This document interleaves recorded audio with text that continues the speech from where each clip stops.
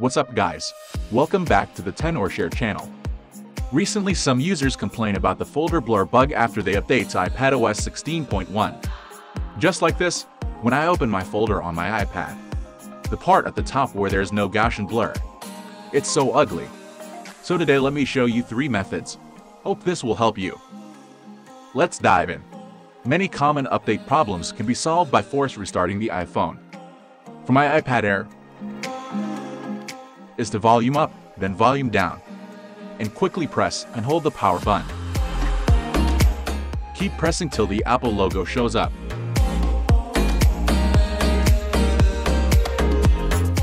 Now you can check if the problem is solved. If you still need help, resetting all settings is very useful.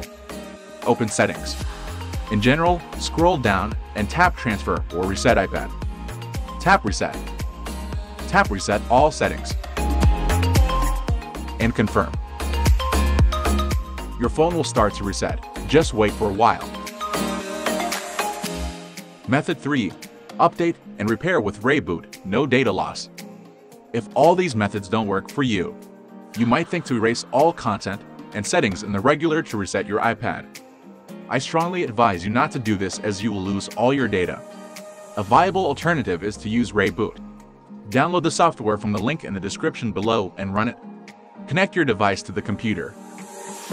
All you have to do is go with the standard repair to secure your data in the process.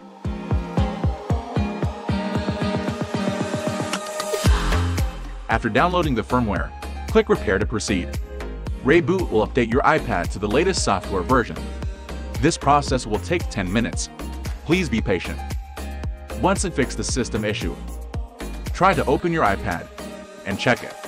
So that's all for today. Hope this video is helpful to you. I'll be grateful if you subscribe. See you next time.